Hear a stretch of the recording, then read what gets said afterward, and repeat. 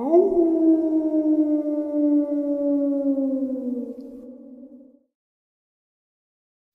Greetings and salutations, everyone. I hope everyone is still doing well, and welcome to tonight's second half.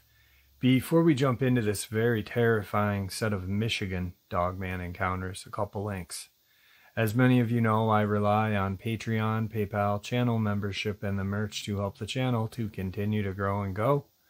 Links to Patreon, PayPal, and channel membership is in the description below. Merch displayed directly under the video. Also, Dogman Frightening Encounters, Volume 1 through 3, the audiobook versions. They were written and researched by Tom Lyons, narrated and produced by me, Jeff Nadolny. Those audiobooks are available on Audible, Amazon, and iTunes, links to which are also in the description as well. And finally, last but definitely not least, if you'd really like to help support the channel to continue to grow and go, simply subscribe. It doesn't cost a cent. Click that like button, takes half a second.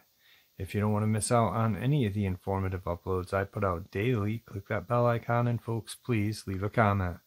Why? Well, because all these things really do help the channel to continue to grow and go. And folks, they definitely do matter. Now, everyone, I have taken far too much of your time. Let's jump into tonight's second half, shall we?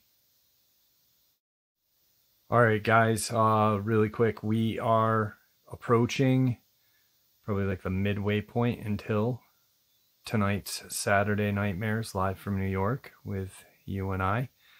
Um, I'm still going to do it. Uh, I had pretty rough day today with my mom, and uh, we had to make the decision to put my dad into palliative care today. Uh, so I think that's the only thing that's probably going to make my day a little brighter is tonight's live stream. So I hope to see you guys there. And uh, thank you for all of the prayers that you guys have sent uh, towards my mom, myself, and my dad. Let's get into this. Today's first Michigan subscriber encounter. Hey Jeff, I was sitting in the woods on a tree trunk on my property in Cadillac, Michigan. It was roughly 9 in the morning in September of 2014. I heard a twig snap. I looked behind me and I saw a creature. This creature was unlike anything I had ever seen. My heart was pounding and I started to sweat when I saw it. The creature was orange, like a common fox up here, but it stood easily seven feet high, with eyes the color of gold coins. The creature had human like hands, but covered in orange fur and had claws, but also had hooves on its legs that I could hear when it ran. I only had a few seconds to see it before it ran away, hearing the distance of its hooves hitting the ground and fading away. That same day, I tried to get my neighbor's hunting cams, but they said there was no video card in it. But I hope someone else see this creature. Today's second subscriber, Michigan Dogman Encounter. Hey Jeff, I'd like to share something with you. The summers in northern Michigan, Cadillac, Michigan, can be long, drawn out days of sweltering humidity. Midsummer daylight can last till almost 11 p.m. I was about 10 or 12 years old with an older brother and sister, my dad owned his own construction business and kept late hours. We lived out in the country, and our house sat on 20 acres of wooded land.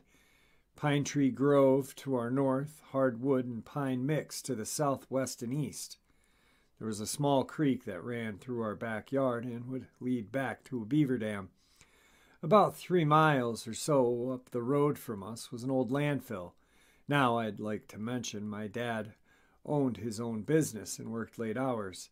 Often he would come home around 9 to 10 p.m., and after being out in the heat all day, he would find more comfort in his full size dually Ford with the air conditioning and a cold beer.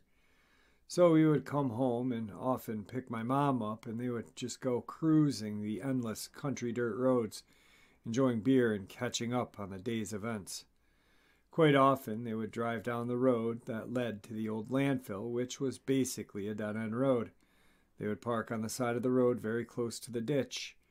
My dad used to do that to freak my mom out. The country roads in northern Michigan grew very thick brush that extended through the ditch and right up to the very edge of the road. My dad would tease my mom, saying a bear is going to press its nose against the window and roar. They have done this cruising thing for years and generally only saw an occasional raccoon or deer. My parents came into the house somewhat rushed. My mom led, my dad followed, trying to explain something. I asked what happened. My dad explained the following. We were parked down the road, going to Smiley's. As we sat there, your mother said she could hear something moving around the brush. It was 11 p.m., so it's dark now. My dad apparently tried to ease my mom by saying if it were a bear, it would have eaten her by now. The night ended. A few days later, my parents again went there to hang out and parked in the same spot. It got dark, and again my mom was the first to hear something in the woods on her side of the truck. This time they both heard it, though. This time it was much larger. Large sticks were breaking and snapping this time. My dad figured it was a deer or a black bear. They turned on the radio and sat and listened. My mom said she could hear something breathing out there. My dad soon also heard the same thing. It was getting closer and then they felt it brush against the side of the truck that was near the ditch. It caused the truck to sway. My mom screamed and insisted they get out of there. Again, they came home and told of the experience. My dad figured it must have been one big bear as he sped off, looking in his rearview mirror. The large black object was bounding across the road, sort of going from two legged run to all fours, and disappeared into the darkness. I remember just being amazed at the story. You see, my dad is a simple man. Life then was cut and dry, black and white, everything can be explained. But there was something different in his eyes that told me he was con- was not convinced, nor when he glanced at my mom and she would return this look of fear that I will never forget. The after work cruising had stopped. My mom refused to go. My dad would come and sit at the table in our dining room with the lights off and discuss the day in the dark with my mom. Living in the country in Michigan with no air conditioning meant that at night every window in the house would be open. Things had been quiet for a few days. It was around 11:30 p.m. and us kids were all in bed. I shared a room with my older brother, and my sister was next door. I must have just drifted off, and it happened. The most terrifying howl slash scream I had ever heard. It was so loud, it was as if it was right next to the house. I can still hear the sound in my head as it happened just the other day. Growing up in the country in northern Michigan and being outdoors all day until dark, you hear it all. My dad was a hunter and knew all native animal sounds, but what we heard that night, none of us, not even my dad, could say what it was. Upon hearing that screechy howl and near tin myself, I heard my dad jump up and slam the dining room chair into the wall, exclaiming to my mom, Get my 12 gauge. My brother and I are now in the dining room along with my sister, who heard the howl. My dad's composure was different now. It was fight or flight, and he was getting his loaded gun. This was more than a bear. We have had bears in our backyard before, and my dad would just use a flashlight and yell at them, and they would usually move on. This night was different. My dad told my mom to shut the sliding glass door after he walked out into the backyard. I remember looking out the back window from a safe distance as my dad disappeared into the darkness with his gun and a flashlight. We had just one light on the back of our house near the door, which didn't offer much light beyond 20 feet or so. My dad was now walking straight out into our backyard towards the small storage shed. Our backyard was cleared and mowed about eight acres back to the creek. and 10 acres wide, north and south. It was like we just cut out a chunk of woodland and stuck a house in the middle. Being surrounded by all the pines and hardwood was usually an advantage to Michiganders in the winter time because it was a natural snow fence. However, this night there was only one advantage, and it wasn't in my dad's favor. He walked with his gun shouting nervously, as I remember, hoping to run off whatever the heck was out there. I was still standing in the dining room, which led directly into the living room, where we had a large window which showed the front yard. There was moonlight and the sky was clear. I remember looking out the front room window and seeing a large, dark object run across our driveway, alternating from back legs to all fours, similar to how you may see a gorilla run. My brother saw it and yelled out to my dad through the kitchen window, It's out front and it's heading to the side yard to your right. My dad stood out there, frozen, listening, and it got quiet. We heard nothing from the house. We had a dog outside that never made a sound. I remember thinking Rex is dead. This dog barked at everything except tonight. He barked once upon the initial howl and then felt silent. My dad came rushing back into the house after what seemed to be an eternity. He told my mom to shut and lock all the windows and the doors. He then said something to this day gives me the chills. He said, I don't know what the heck is out there, but whatever it is, I felt like I was being hunted. He then explained that once it ran into the pine trees to the north, it was staying just inside of the tree line, keeping cover. As he walked, it would move. He heard branches breaking, sticks cracking loudly from its weight. He would occasionally catch a glimpse of something dark and then see the branches jiggle. The creature kept moving. At one point, as my dad stood still, he could hear it continue to move west, then south, then east on the other side of him. That was when he came back in and decided to lock down the house. Whatever it was, he felt it clearly had the upper hand, regardless of a gun and flashlight. My dad sat up for the rest of the night in the kitchen with his gun on his lap. It was probably an hour or so later that I again was awakened by this hideous scream of a rabbit being captured.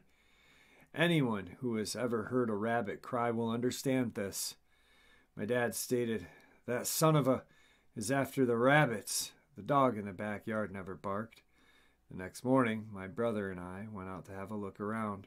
My dog Rex was all right, but he stayed cowered in the back of his doghouse. He had to be coaxed out. We wandered out behind the shed and saw something that blew our minds. Our shed simply sat on the ground, no cement foundation. Rabbits had burrowed tun- tunnels under it, and we had a population of around 50 or so rabbits that just ran free in our yard. But when we walked out into the back of the shed, there was a huge pile of sand in a tunnel that I could have surely fit into. There were huge claw like marks where it was digging. We could make out impressions of what appeared to be maybe the rear end and two heel like prints out in front. I remember me of how you see a child sitting in a sandbox digging a hole with feet planted in front of them and the hands would drag the sand back and push it to either side. There was rabbit hair everywhere. A few rabbits that survived thumped their feet and ran off into the brush, obviously still nervous from what had taken place earlier. We told my dad when we saw him again, and he just had this look on his face that was less than convincing when he said, It must have been coyotes or something. I guess we knew to ourselves what he really meant.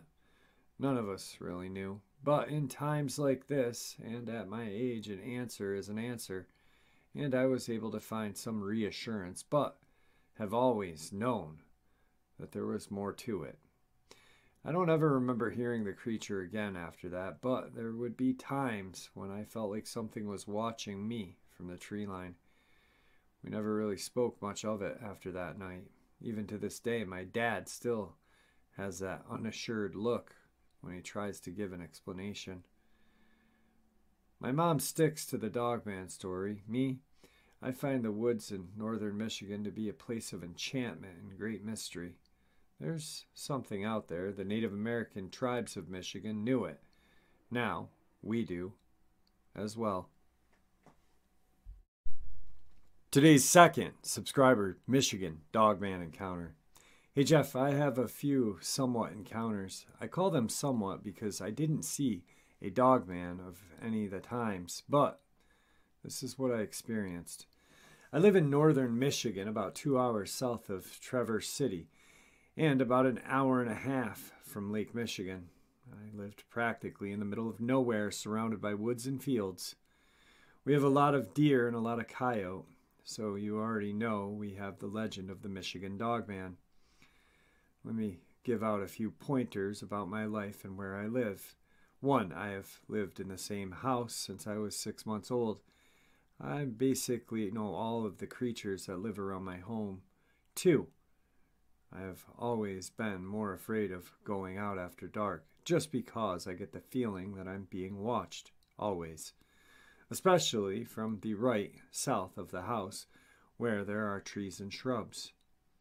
Three, I knew about werewolves with my first encounter, but didn't know about the Michigan Dogman until I was in fifth grade. Since then, I have been engrossed about learning more about it. My first experience happened when I was about five, around May of 2004. I was asleep in my bedroom, which shared a wall with my parents' bedroom. It was thundering outside, and our huge dog named Lightning was inside because she was terrified of storms. She was a German Shepherd Chow mix, and let me tell you, she was mistaken for a bear quite a bit. Anyway, I was sleeping in my bedroom when I awoke with the feeling of a deep and primal fear. I was frozen stiff. Then I heard it, the howl. It was an unearthly and unhuman. It was low and right outside of my window, which faced the north at the time. It was about a ten second howl. All the hair stood up on my body. I know what coyotes sound like, and this was not one of those. It shook my rib cage, and my adrenaline kicked in. I ran into my parents, which is where my parents' dog. Lightning was sleeping. I climbed onto their bed and started to cry. My mom asked what was wrong, and I said, There's a werewolf outside, Mom. She replied, No, honey, it's our dog. Go back to bed. But the dog's inside. They both would have woken up to that, and they didn't. The howl still kind of haunts me to this day. My second experience was in August of 2012. I was 13. We had two German Shepherds. Their names were Ale and Whiskey, both kennel trained. Anyway, one night I fell asleep on the couch watching TV. My dad worked at 4 in the morning at the time and got up at 2:30 to get ready to go to work. He worked doubles at the county jail about an hour away from our house. Anyway, I awoke to my dad cussing and the foul stench of dog crap. Ale had crapped in his kennel, but Whiskey was completely broken through hers, like ripped hers apart to be next to me on the couch. Now, these are heavy duty metal crates. My dad yelled at Whiskey to go to him she wouldn't budge. She was facing our big window, facing east. It also was a direct window the front yard. I saw her hair standing up, like she was ready to attack whatever invaded her space. She wouldn't leave my side even when my dad tried to grab her. When my dad opened the door, I could hear nothing. That oddly enough, nothing. No crickets, no other wildlife. Not even our cats. It made my hair stand on end. I cuddled the dog till I fell asleep again. My third and hopefully final experience happened with my best friend. She lives about a mile from me. This was the summer of 2016. She had turned 17 about a week before this. She had lived at this house for about a year and still does to this day. We were walking down the road at night Nobody ever drives on her road because of how crappy it is due to it being like clay and sand mixed. So we walked down the road, talking and getting away from her younger brother, who was always up our butts trying to hang out with us whenever I was around. He didn't like going outside at night, so it was our perfect getaway. We had our phones on us to use for flashlights, but we preferred just to walk in the dark and look at the stars. This night was cool, especially cool for a July night. There was a crescent moon out, so we had minimal lighting, but not enough to make out anything. Anyway, we were walking and we heard the snap of a branch on the ground. We both got quiet and held our breaths. We didn't see anything. Then I noticed it. It was that odd shape again. I waited for a few minutes. I then called out, Hello? Nothing responded. We're about 350 yards from her house, so we started walking back in a quick pace and didn't talk, trying to listen for anything. We hear it again, but louder and closer to her house.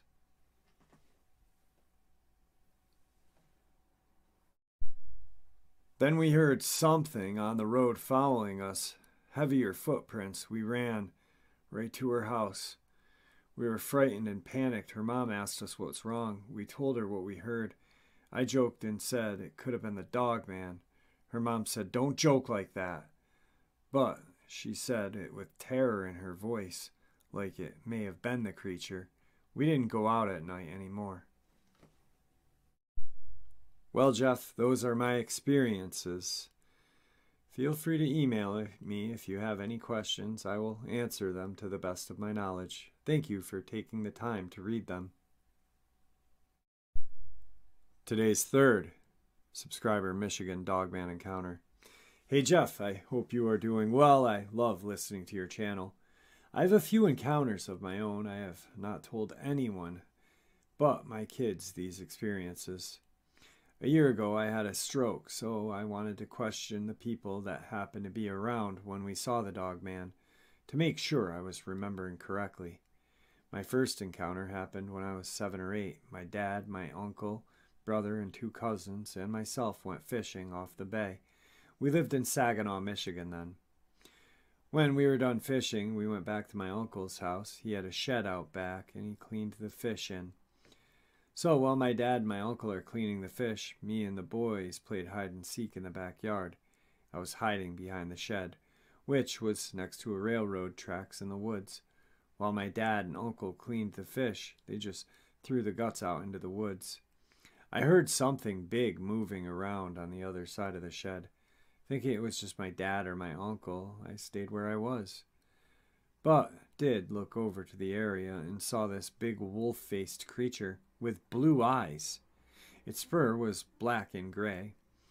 From that point, I don't remember much more. I guess I passed out and peed myself. Next thing I remember was everyone standing over me. My dad picked me up and took me inside to my aunt, who was an EMT.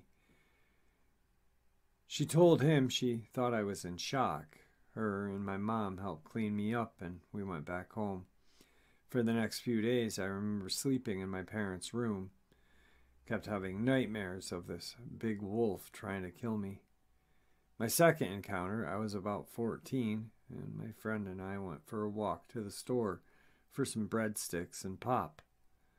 This was the early 80s when kids weren't watched as closely as they are now.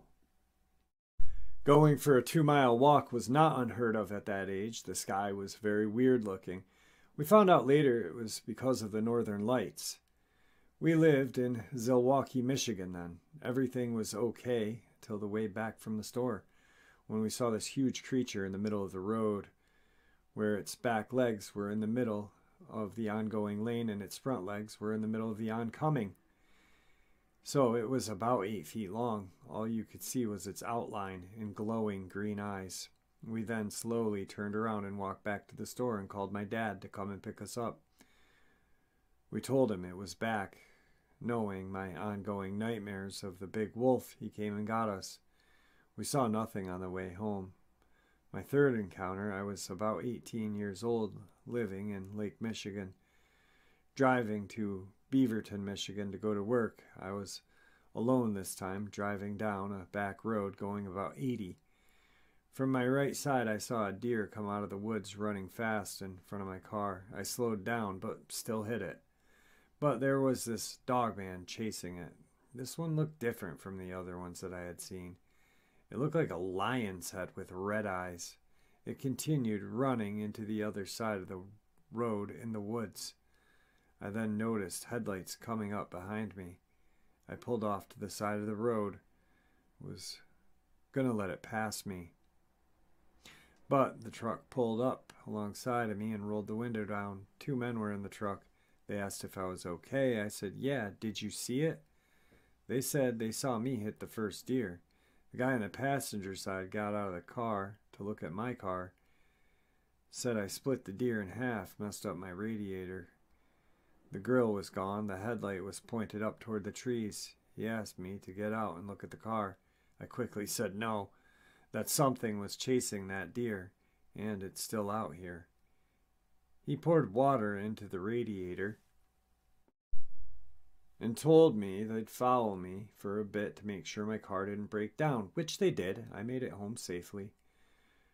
Number four, this, this one of them stories that you don't like because I didn't see it this time. Just felt uneasy and heard a howl. My best friend and I were going up to his cabin in Rogers City, Michigan. He took the wrong turn. I immediately felt uneasy and told him to get us out of there.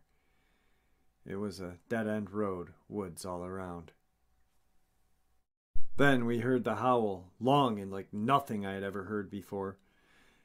I now live with him and have that uneasy feeling every night when I go outside on the back porch. It's an old farmhouse surrounded by cornfields.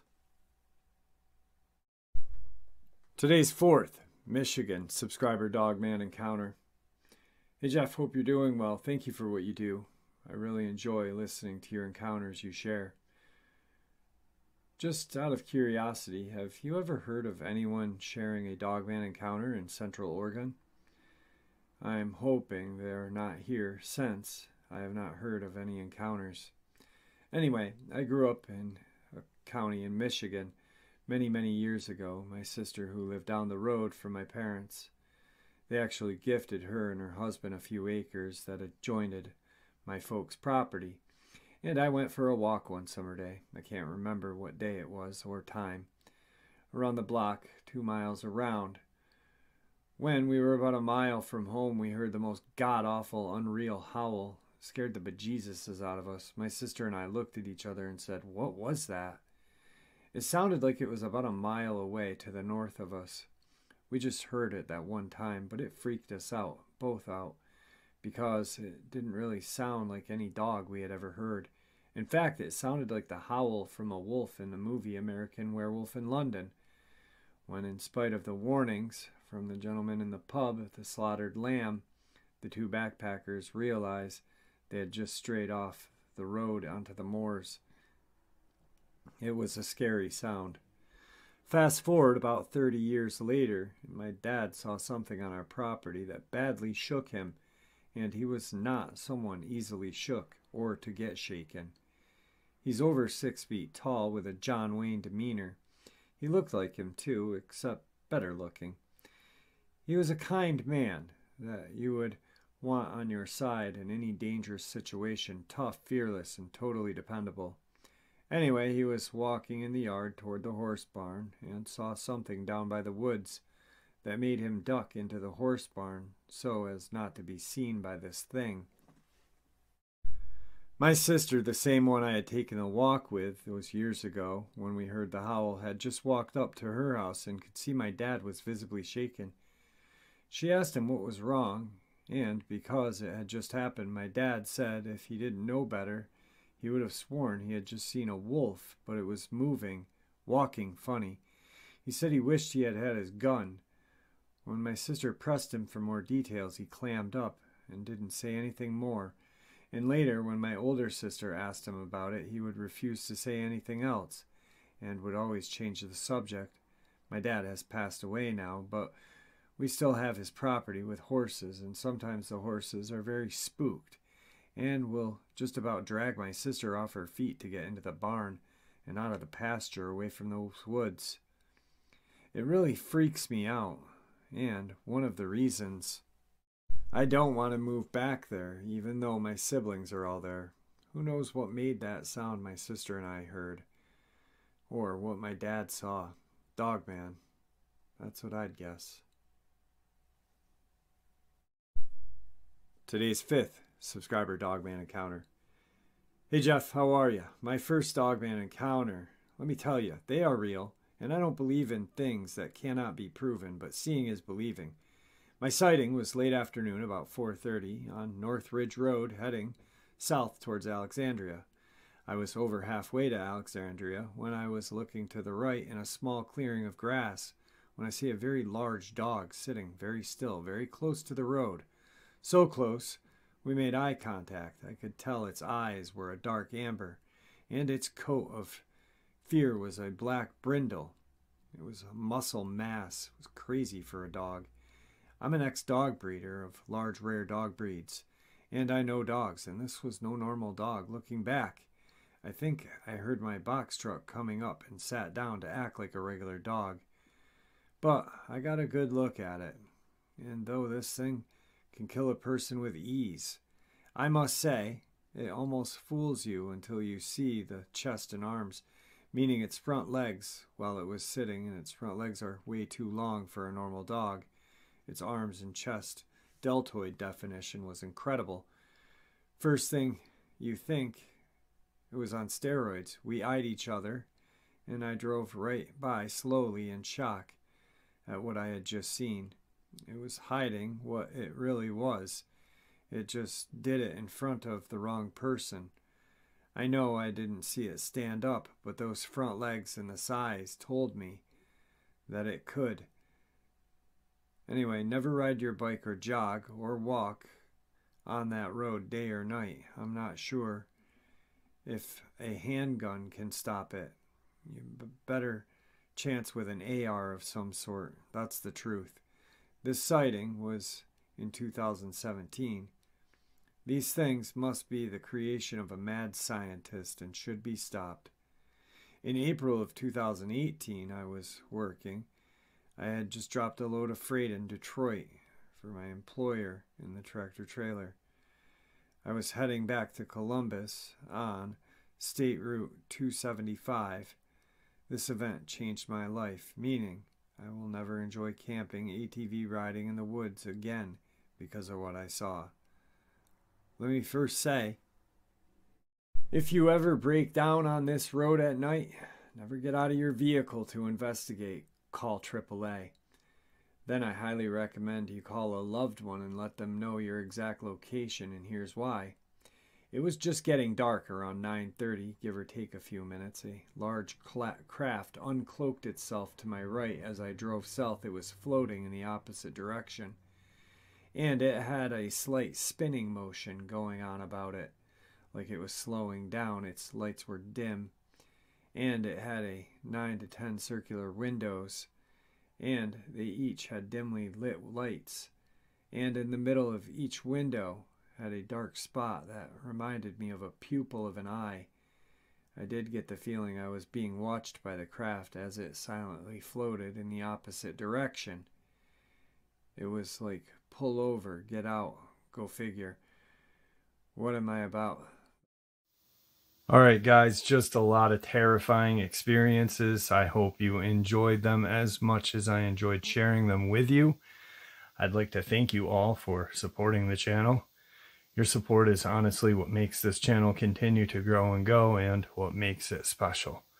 Everyone, please stay safe, happy, healthy, and ever vigilant, keeping an eye on our children, pets, family, and friends.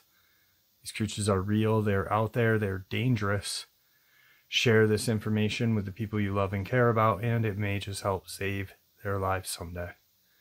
Until next time, never stop asking questions, never stop searching for answers. God bless.